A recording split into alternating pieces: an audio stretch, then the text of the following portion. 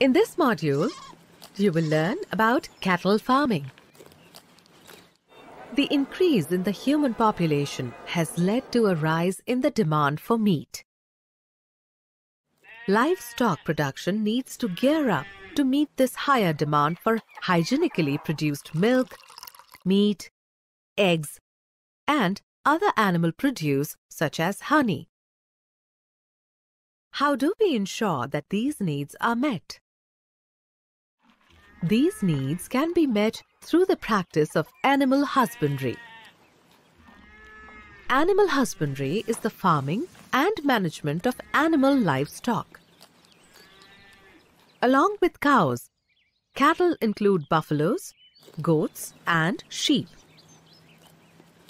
The practice of rearing cattle by providing facilities for raising livestock is called cattle farming.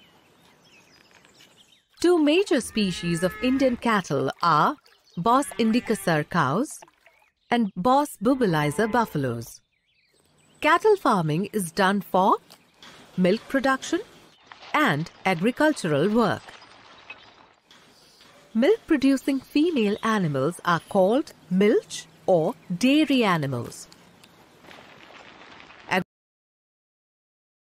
Agricultural work involves tilling, irrigation, and carting. Male cattle used for such farm labor are called draught animals. Dairy animals are used for milk production at a farm. Milk production depends, to some extent, on the duration of the lactation period. What is lactation period? The period following the birth of a calf is called the lactation period because during this period, high milk production is observed. By lengthening the lactation period through hormonal stimulation, milk production can be enhanced. What are the management practices in cattle farming? Regular brushing and washing is performed to remove dirt and loose hair. Shelter facilities include well-ventilated roofed sheds to protect cattle from rain, heat and cold. Animal feed is of two types. Feed with high fiber content, called roughage, for energy, and concentrate feed, that is, feed containing low fiber and high protein content for increasing body weight. Cattle need to be reared with the proper practices described just now. If not, they get infected with diseases. Diseases in cattle are caused by external and internal parasites. External parasites live on the skin and cause skin diseases.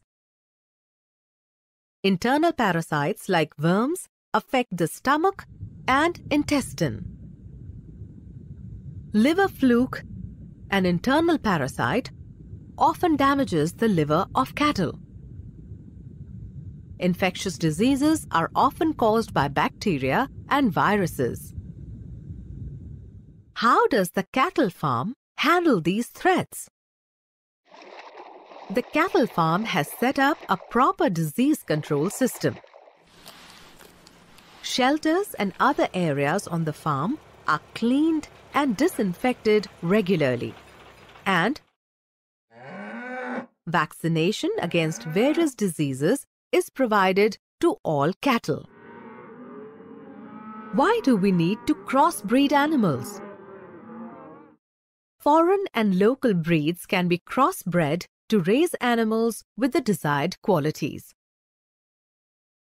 For example, a foreign breed like a Jersey cow has a long lactation period. On the other hand, a local breed like a red Sindhi cow displays resistance to diseases. Therefore, crossbreeding them might lead to a new breed with a long lactation period as well as a strong resistance to diseases.